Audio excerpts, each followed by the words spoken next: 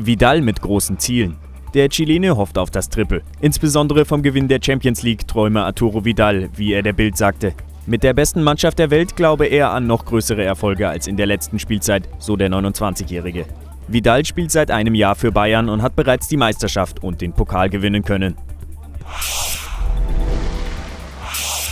Ribery legt gegen Guardiola nach. Bayern-Star Franck Ribery hat nochmals eine Spitze gegen seinen Ex-Coach Pep Guardiola losgelassen.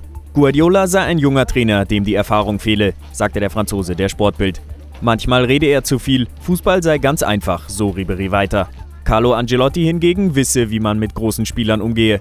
Guardiola hatte den FC Bayern nach drei Jahren in Richtung Manchester verlassen. Podolski will in Istanbul bleiben. Nationalspieler Lukas Podolski möchte trotz der politisch unsicheren Lage offenbar weiter in der Türkei spielen. Er habe nichts anderes behauptet, sagte der Profi von Galatasaray am Mittwoch im Rahmen des Benefizspiels Champions for Charity. Wenn Medien spekulieren, dann sollen sie spekulieren, führte der 31-Jährige fort. Podolski war im Juli 2015 vom FC Arsenal nach Istanbul gewechselt.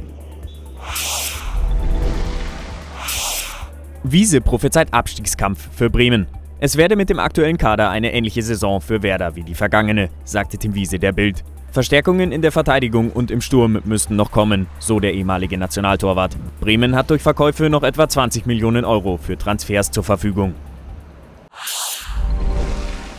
Ja, es wurde natürlich viel, viel geschrieben, aber ich glaube, ich muss es selbst für mich, für mich entscheiden. Ich habe wirklich viele Sachen, äh, viele gute Sachen auch, wo ich machen kann. Und äh, jetzt äh, ist nur noch die Entscheidung, mache ich weiter oder mache ich was anderes. Also viele Türen sind offen, viele Vereine haben angefragt und so. Jetzt muss ich für mich erstmal Urlaub und dann für mich entscheiden. Also gibt mir da überhaupt keinen Zeitdruck, aber irgendwann wird die Entscheidung fallen. Die Bundesliga ist sehr schön. Da war ich aber schon. Danke dir. Mit den Sport 1 News immer up to date. Hallo und herzlich willkommen, liebe Zuschauer.